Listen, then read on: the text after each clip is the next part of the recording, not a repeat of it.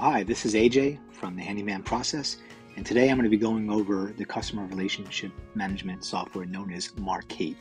Uh, if you are a handyman or in any of the trades businesses where you're going to and from customers' homes, uh, Markate is just a fantastic customer relations management software. It really keeps you in the loop. I get a lot of compliments on it from uh, the people that I work with, and it makes my life just super easy. Uh, so if you've never seen it before, you can go into the App Store, whether you're on Android or iPhone. Go in, select the Markate app. You'll see all the details there. You can go ahead and download it.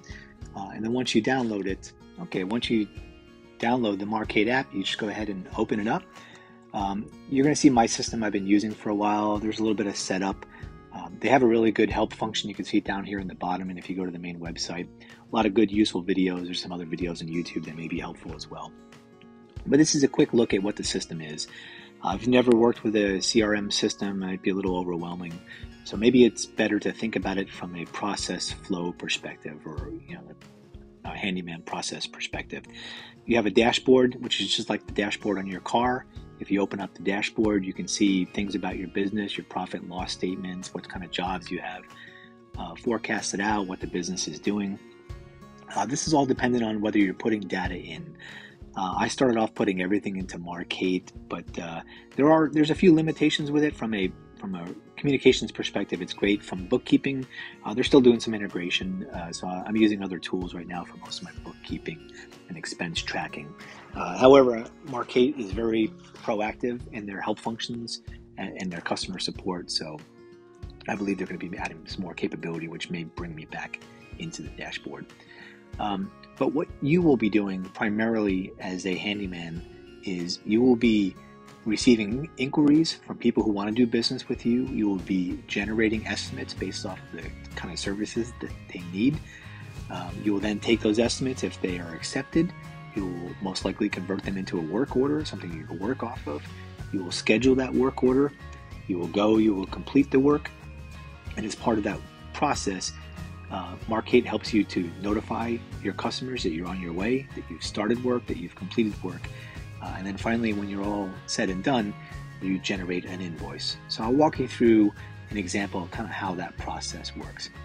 Um, so I'm going to touch here on the inquiry screen, but just keep in mind that in my particular situation on my website, Greenshire Handyman, there is a form that is connected to Markate. I Markate does the hard work of generating software that I just essentially embed into my website, uh, which allows my clients and my customers to go ahead and request an estimate. So somebody navigates to my website, they fill out that form, and then I'm notified. Uh, you can see the unread here of, of who's looking for work. So I will jump in here to Joe Elliott, who submitted a request for work. So inside here, it gives me details. So his name, his number, his email address, uh, what kind of work he's looking for. He's looking for somebody to help with pouring some sugar. So if you're a Def Leppard fan, you're following my theme. Uh, gives me his address, um, contact information, how did he hear about us from Google, so on and so on.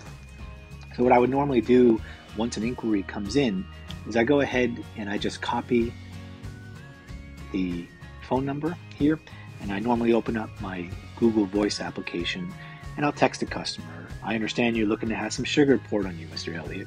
How can I help you with that? And Mr. Elliott will come back and he'll explain, no, I wasn't really looking for that.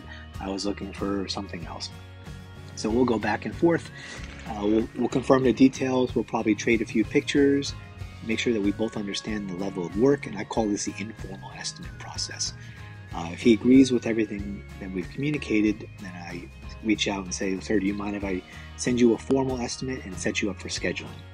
If he says yes, I come down to the bottom here and I hit these three uh, line icon on the bottom there and I'm going to go ahead and I'm going to create the estimate.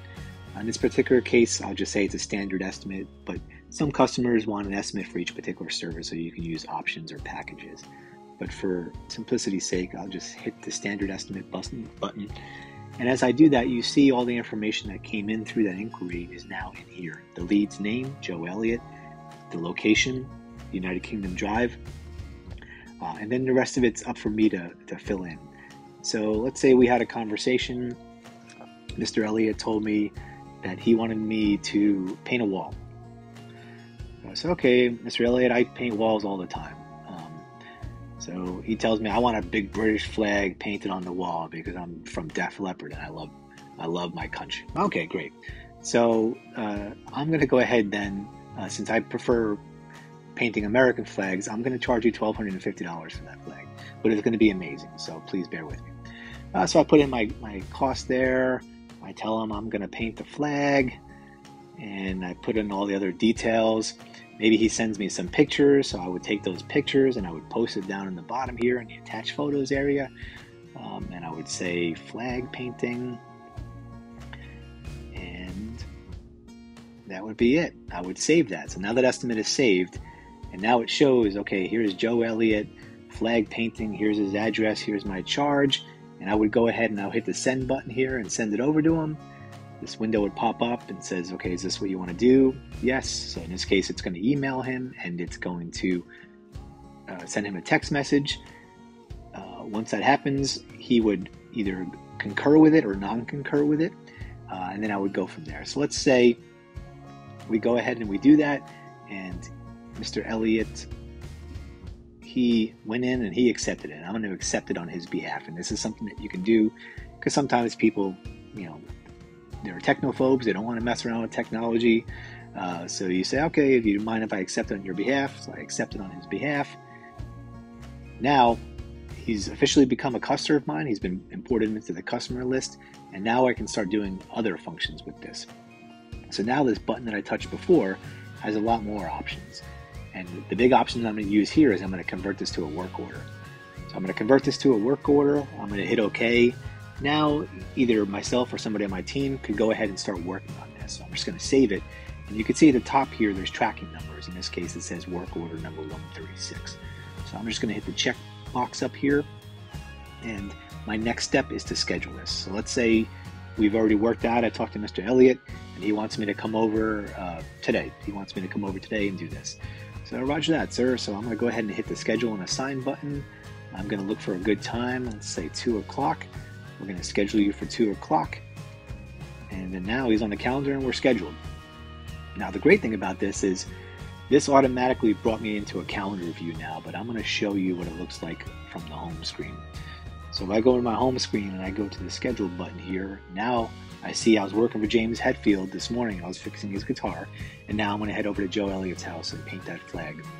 Uh, so I'm I'm getting ready to leave the house. I open up that work order, and the first thing I'm going to do is just review the order. Oh yeah, I'm, I'm painting the flag for Joe. So next thing I do is I come down here, and you'll see on the bottom these buttons: arrival, start, pause, and complete. This is this is really the magic of Markate. So when I'm ready to head over there, let's say he's 20 minutes away. So I'm going to hit the arrival button, and this little thing is going to pop up, and it's going to say uh, either I'm heading your way or I'm going to be late, and you can determine which one it is. And then the text below it is automatically generated based off of the numbers you press here. So I'm going to say 20 minutes, I'm going to be there. I'm going to go ahead and hit that button. Uh, so now he knows I'm on my way over there. So let's say 20 minutes has passed by. Now I'm ready to start the work. So I come down here, I hit the start button. Here it pops up and says, You want to notify Joe that I'm about to start work. Uh, I tend not to do this um, unless I'm working for landlords that are out of town, then I do do it. But if I'm talking right there directly to the customer, I normally uncheck this, check this button. Now the timer is start. Another great feature with Markate is a track time. So I go about, I do my work, I paint the greatest British flag, United Kingdom flag you've ever seen. Joe is really happy. Uh, so I said, "All right, sir, is there anything else you need? Are you satisfied with the work?" And he says yes, and he starts trying to pour some sugar on me. I say, "No, no, please, I, uh, That doesn't work for me. So if we could just stick with the the uh, the process here, I'm going to go ahead and complete this. I'm going to close you out, Mr. Elliott. And the same thing, if he's right there, I'm going to uncheck this box. I'm just doing this from my own bookkeeping perspective. I'm going to hit the check button up here, and then now it says, "Great, invoice is generated and ready to be ready to view." So I hit the OK button. And the cool thing about this is now the invoice is up and is ready to go. Um, there's some legwork you have to do to, to in, in, my case, tie this into Square or some type of credit card acceptance platform. But if you're just working off cash or check, it would be as simple as saying, okay, you're going to pay by cash or check. I'm going to go ahead and hit this Pay Now button, and I'm going to record a payment. I come in here, I'm going to say he gave me a check, Uh, he was so thrilled with everything. He gave me an extra $350, which was fantastic. Um, and then I record the transaction, and la di da, we're done.